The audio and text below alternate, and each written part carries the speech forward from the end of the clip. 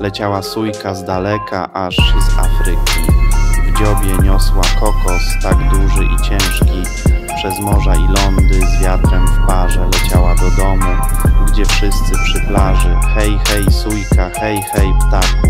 Z kokosem w dziobie lecisz w przestwór błękitu. Lecz los cię zaskoczy, z przygody to widać. Bo kto by pomyślał, co za chwilę się zdarzy. Na murku siedział kot, czarny jak noc. Sójka się przestraszyła, zatrzepotała skrzydła w lot.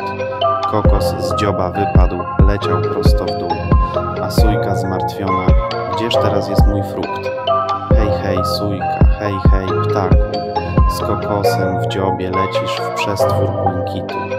Lecz los cię zaskoczy, z przygody to widać. Bo kto by pomyślał, co za chwilę się zdarzy. Na plaży mężczyzna leżał, słońce brał. Nie wiedział, że kokos leci prosto w jego ślad. Spadł kokos na głowę, huk był wielki, a mężczyzna wstał, krzycząc: Co to za pomysł przeklęty?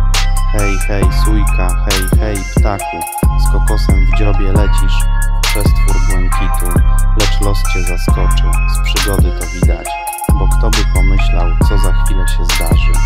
Sójka wróciła do siebie bez kokosa, ale cała, a mężczyzna na plaży już tylko się śmiał. Bo czasem w życiu przygoda jest taka, że kokos z nieba spada, a życie się pląta. Hej, hej, sójka, hej, hej, ptaku, z kokosem w dziobie lecisz w przestwór błękitu, lecz los cię zaskoczy, z przygody to widać, bo kto by pomyślał, co za chwilę się zdarzy. Hej, hej.